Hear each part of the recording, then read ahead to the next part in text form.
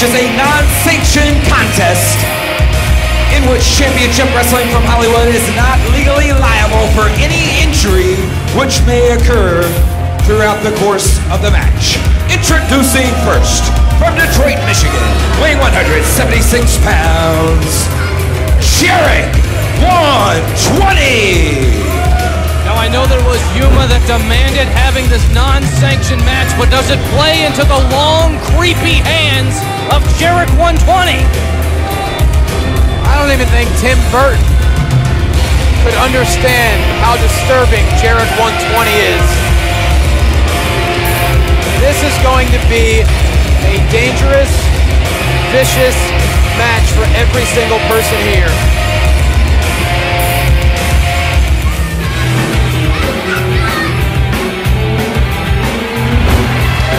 Opponent from San Diego, California, weighing 174 pounds, Yuma's not wasting any time, Galli. Oh, Jarek 120 already in the ring, and Yuma right off the bat with a thirst for vengeance. Wow, I have not seen speed from Yuma like this since the Rock Nest Monsters. He is ready.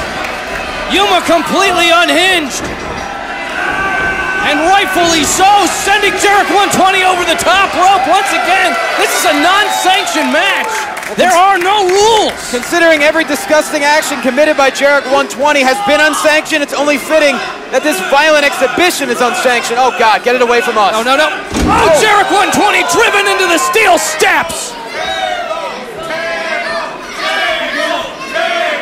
The question is, how far will Yuma go to rid everybody of Jarek 120? Yuma looking for some poetic justice through violence. Looking to decimate Jarek 120 for what he did. Oh no, he's looking for the first weapon of the matchup, something hidden behind this. It's the handcuffs, Johnny! Yeah, there's nothing the referee can do. He's only there to count the three if he even survives. Of course, those handcuffs were used against Yuma. Well, how, the question is, how many pairs of handcuffs does Jarek 120 have? He could have 19 in his trunks. We don't even know. I mean, what else could be under the ring right now? Anything could be a weapon. You never know, this devious magician could have put anything underneath there. And of course, Yuma looking to use anything to his advantage as he handcuffs Jarek 120. He's got nowhere to go. Oh boy. What's, what's Yuma having? What did he bring with him? Oh, it's the key. It's the key. You know, usually Jarek 120 is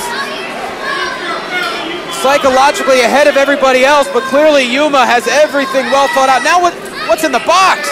What's in the box? It Came from Amazon. It could be anything. What did he order? Oh, Johnny, we've seen this before. It's the pipe. Ladies and gentlemen, the Pied Piper is back. The Pied Piper of Vermin making a return here.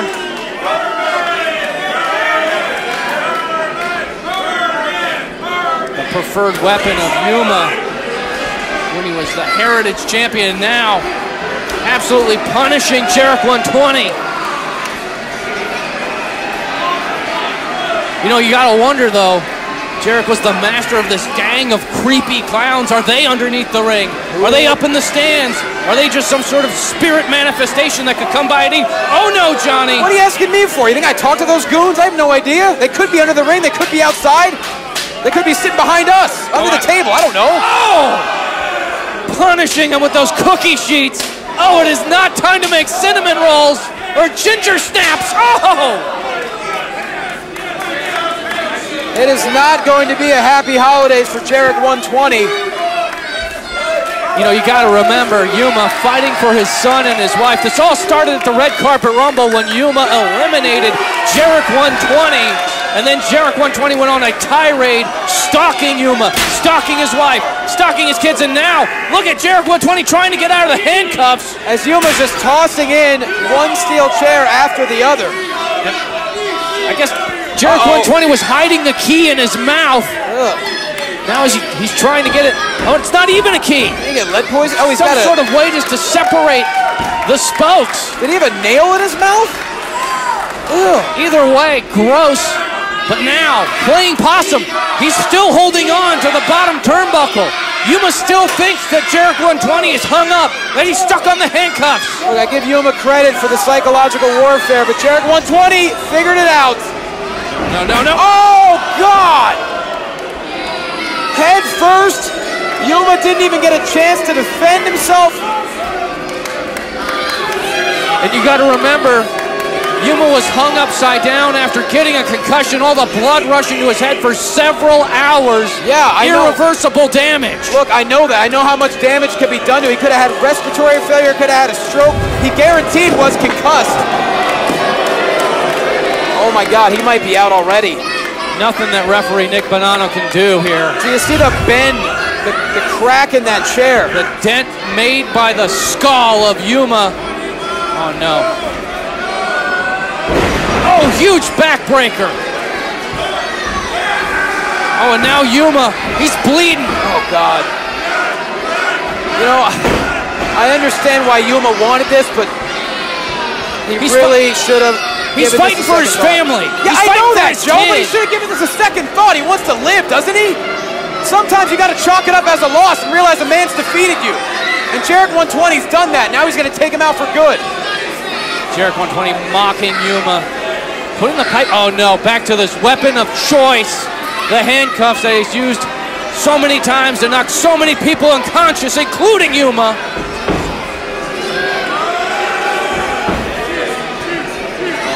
You see the crimson mask on Yuma already. And now he's digging in with those handcuffs. Oh, choking the life out of Yuma.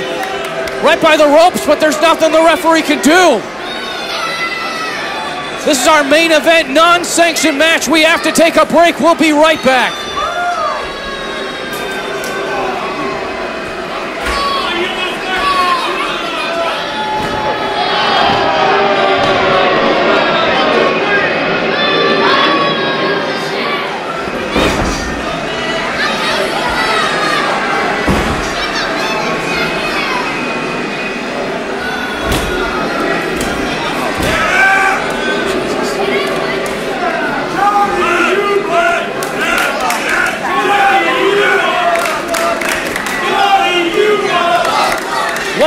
To our main event, the non-sanctioned match, and Yuma has just been the victim of complete and total punishment from Jarek 120 during the commercial break.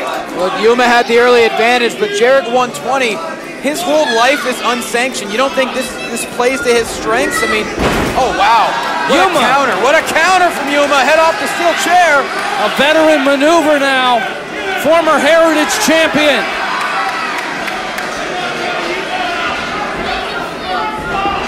Oh, Yuma with the back right to the steel chair. You can see how much it's bent, his body weight bending the steel. The most dangerous senton we've ever seen. I mean, look, I understand that Yuma is trying to channel his inner vermin. I mean, there's no, there's no telling what Jarek 120 is capable of.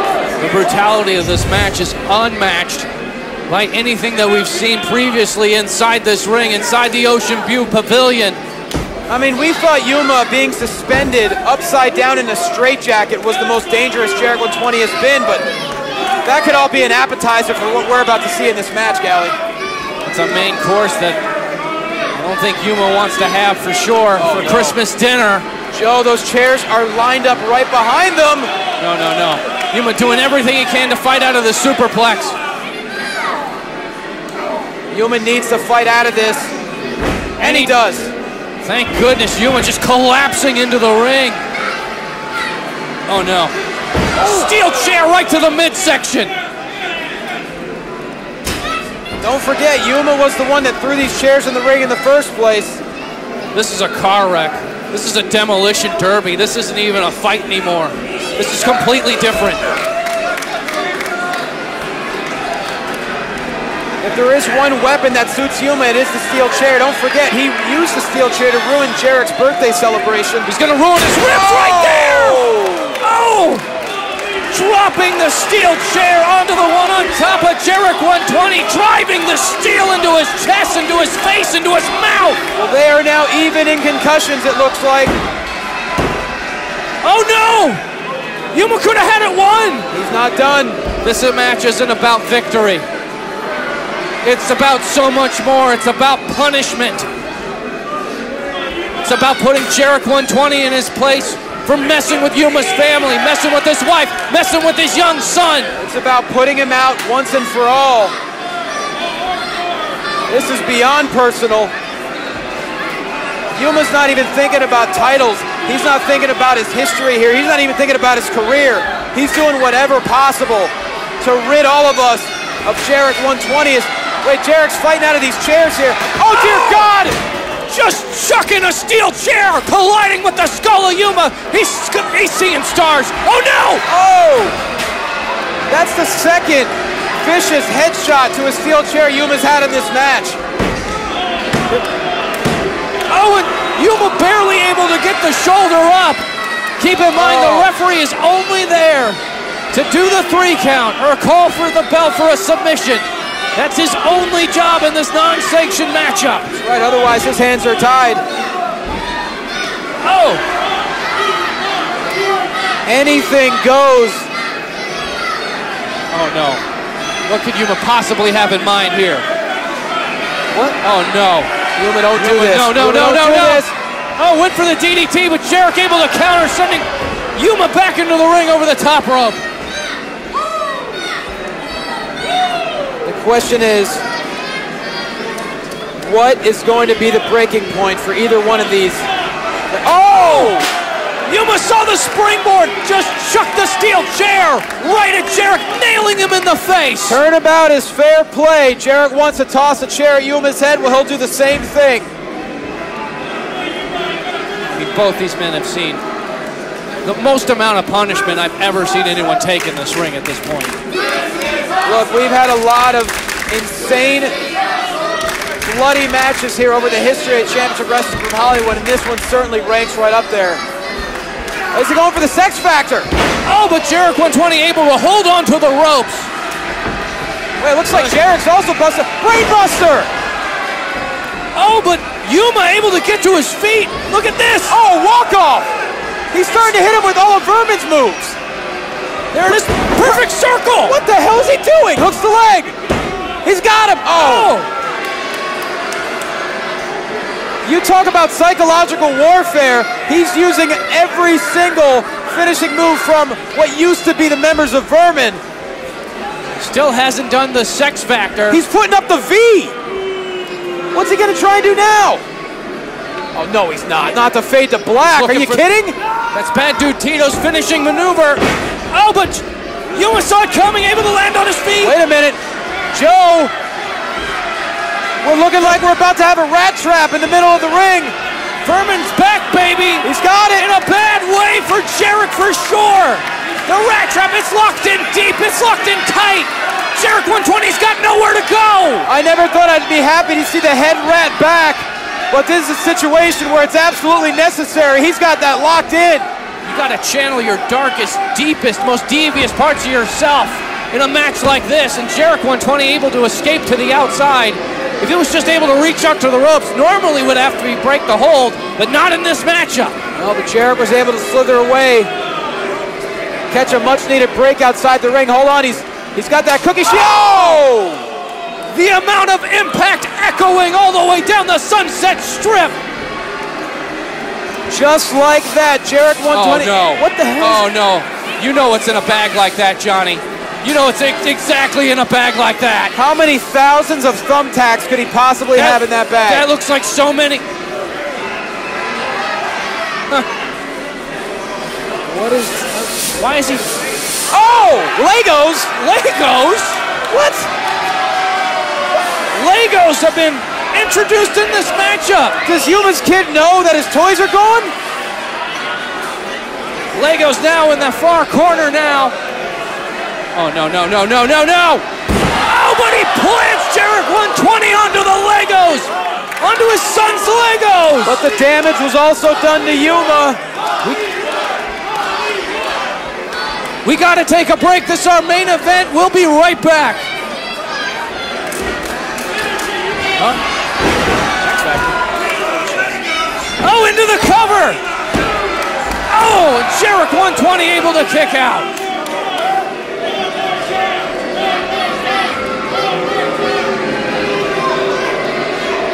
Welcome back to the action. While we were at break, Yuma delivered the sex factor, and Jarek 120 was able to kick out. I can't believe it. I don't know how he was, but that's why you have to be here at the Ocean View Pavilion. You don't miss a single second. You got to follow us on Twitter at CWF Hollywood to see every single second. And meanwhile, Yuma finally has control here. Just Legos strewn all over the ring. I don't know what Yuma has in mind here, just stacking up these steel chairs. I have no idea. At this point, I mean, all bets are off when you have Legos in a bag. I mean, really? Oh, yeah. I mean, have you ever stepped on a Lego, you know, walking to the bathroom at night? I mean, that'll wake you up in a hurry. Well, I'm an adult. I don't live with Legos, Joe, but I imagine you have. Nieces and nephews. Sure. Oh, boy. Speaking of family, that's what it's all about for Yuma right now. For his family, for his pride. What is he trying to do here? Four steel chairs stacked up. He's looking for a German suplex off the top rope. Jarek 120 with a thumb right in the eye. No. Much to the displeasure of the Look at that. He's out here. putting his weight right on the leg. And Yuma, oh, Oh! leg drop right across the bridge of the nose. Yuma is just in the most dangerous tree of woe ever. Yuma's completely stuck. He's stuck and he's out. Oh, finally able to, to fall out of that position, but the damage is done. That was an enormous amount of impact, and Jarek 120's not done yet. Look at the glazed eyes of Yuma. He's on Dream Street. Jarek 120 is about to end the career and life of Yuma. Oh, no, no, no. What could Jarek 120 possibly? Oh, there's Oh, no, no. way. Get out of here right no, now. no, no. no. Oh, from the Pacific to the Oh! Atlantic, it's coast to coast. Dear God. Clear across the ring, springboard dropkick, driving the steel into the skull of Yuma. It's gotta be over. And Yuma stays in the fight. How in the hell did he kick out of that? Yuma nodding. Says he's still able to fight. He's still able to continue. The Ocean View Pavilion will never be the same if this match ever ends. I- oh, this is hard to watch. The amount of damage to Yuma's skulls. This this is gonna take. This could end his career. It's at least taking years off of it, that's for sure. I mean, that's that's just what you have to do. Sometimes you have to put everything on the line for your family. Now, Jarek 120 directing traffic, telling members of the Ocean View Pavilion fans to move out of the way. I think he wants to do a superplex into the chairs. You gotta be kidding me. Oh, this this is deadly. This is potentially deadly, Look, I understand Yuma wants to fight for his family. Sometimes you gotta say, you know what? I'll walk away. Maybe he should have walked away from championship wrestling. And Yuma with a big low blow. You got to do anything you can in this situation. Oh no. What's what's Yuma trying to do now? Dear God. Oh no, no, no. Oh! Onto the steel chairs! Samoan drop off the top rope! And Jarek, leg spasming, nerve damage, cracked ribs, cracked vertebrae, God knows what else! Yuma clearly can't even feel his right arm. He also took the brunt of it. The question is, can he roll over and even attempt for a pin here? If Yuma could just roll over, he just needs to make it one and a half more feet. He could win this matchup. Bloody, bruised, battered Yuma. Joe, I've been here since day one. I've never seen a match like this. There's a good reason that it's unsanctioned. Yuma finally with the cover isn't enough. And Oh. Jarek 120 able to get the shoulder up! Oh, come on. How is this match gonna end? This is insane. I mean, it, Joe, I don't even think I want to see how this is going to end. I'm, I'm close to walking away. This is difficult to see. Oh, it's a train wreck. For sure, and now Yuma. I mean, no rules whatsoever, Galli. It doesn't matter how it ends, where it ends, when it ends. I mean, there, no one's liable here. They can do Oh, whatever no, they want at to this. each other. Jarek 120, he's got his hands on the handcuffs oh, again. Dear God. But now Yuma with the weapon of his own, he's got the he's got the pipe. Who will strike first? Jarek 120. Oh! He eats a face full of pipe! The Pied Piper gets him first. Two. Oh, no way! No way! That swing with that pipe was right on, 100% into the face of Jarek 120. How did he possibly kick out? For the love of God, somebody just stay down. Crowds on their feet. Now, Yuma's got the handcuffs again. What is he? Oh no, he's gonna try and lock those handcuffs behind his back. And, and Jarek's completely out. I mean, he's tying him up just like Jarek 120 tied him up to hang him upside down. Somehow Yuma still has enough brain cells left after the damage that's been done. Almost poetic justice. But that'll stop you from being able to kick out for sure. What's he possibly gonna try here? I mean, Jarek realizes now his hands are tied behind his back.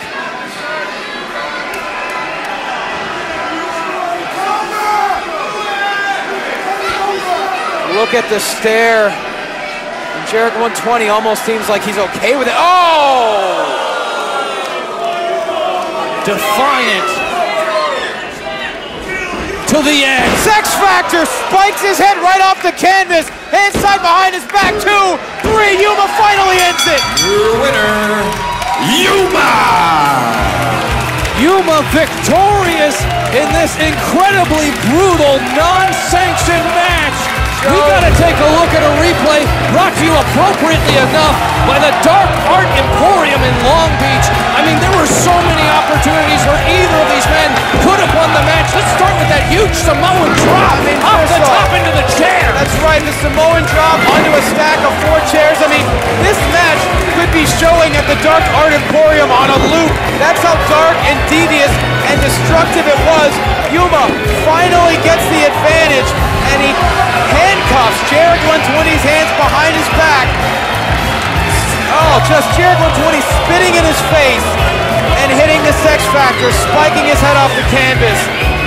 And Yuma finally defends his family, defends his life, and he ends this war between him and Jarek 120. Finally able to get the retribution he so desperately wanted, so desperately needed against the devious Jarek 120. Well, Joe Galli, Jarek 120 just learned that when you try to take away a man's career and his well-being and you don't get the job done, it will come back to haunt you tenfold. That's certainly true. This has been one of the most hardcore main events I have ever seen here at Championship Wrestling from Hollywood. I am I am exhausted.